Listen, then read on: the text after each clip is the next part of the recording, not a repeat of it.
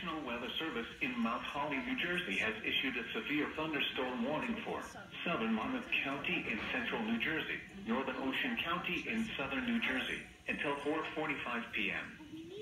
At 4.05 p.m., a severe thunderstorm was located over Jackson, Oregon, 10 miles northwest of Toms River, moving east at 50 miles per hour. Hazard, 60 miles per hour with gusts and quarter-sized hail. Source, indicated. Impact, hail damage to vehicles is expected. Expect wind damage to roofs, siding, and trees.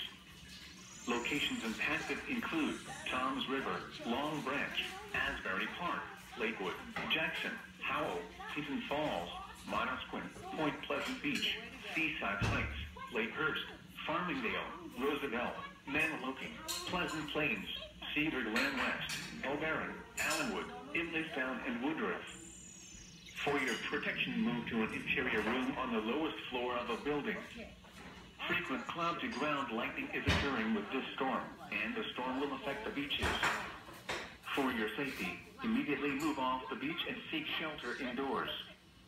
Repeating, a severe thunderstorm warning has been issued until 4.45 p.m. for the following counties in New Jersey, Monmouth and Ocean,